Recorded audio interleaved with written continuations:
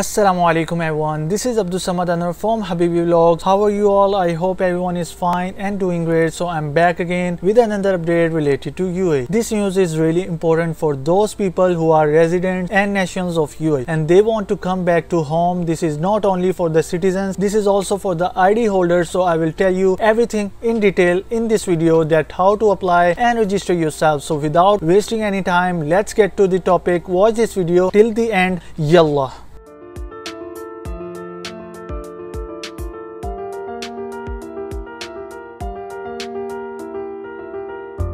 So welcome back everyone. As you can see here, I'm on the official website of Etihad Airways. Return home to Abu Dhabi from 9 May 2020. This means this service have been already started so don't waste any time. We will be operating limited one-way flights to Abu Dhabi to help residents and nationals return to the UAE. You must have ICA approval from Abu Dhabi government before you will be permitted to fly. You will not be able to check in otherwise. Flights to Abu Dhabi, Amsterdam 15, 20, 22, 27 27 and 29 May. Barcelona 17, 24 and 31 May. Belgrade 21 May. Chicago 16 May. Frankfurt 17, 24 and 31 May. Jakarta 15 and 29 May. Kuala Lumpur 23 and 30 May. London 16, 20, 21, 23, 27, 28 and 30 May. Melbourne 15, 21, 22, 28 and 29 May. New York 16 May. Seoul 22 and 29 May. Singapore 20 and 27 May. Tokyo 20 and 27 May. Toronto 22 May. These flights have been approved by the UAE government and we are working closely with authorities to continue these types of operations. Remember, you must hold a valid UAE resident visa and IC approval number. You will not be permitted to enter the UAE otherwise. All guests will undertake PCR and thermal testing when they arrive into Abu Dhabi and are required to self-isolate for 14 days. How to book? Before you fly, you must apply for IC approval. This service will ask for your flight booking reference however it is not mandatory and you can leave this field blank. If your application is successful you will receive a unique IC approval number which you will need for when you check in for your flight. All guests must ensure they have ICA approval from the Abu Dhabi government before they fly. Guests who do not have ICA approval will not be accepted at check-in. This is the ICA form that you have to fill. Fill it carefully and fill every bit of your information. I will provide you the link in the description so don't worry. Notes and warnings please do not book your travel tickets unless you obtain the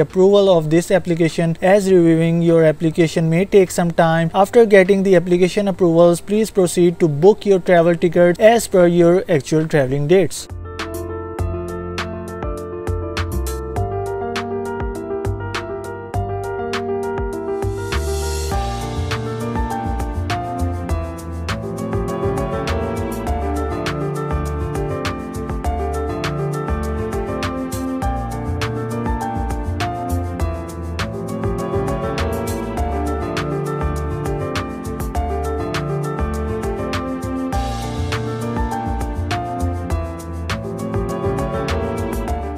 that's all for today this was the latest update from UAE if you have any question related to UAE you can ask freely in comment box or you can catch me up on my social links that I provided in my description. I request everyone just to click the subscribe button and don't forget to turn the bell icon to all to get updates daily. So this is Abdul Samad Anwer from Habibi Vlogs. Yallah Ma Salama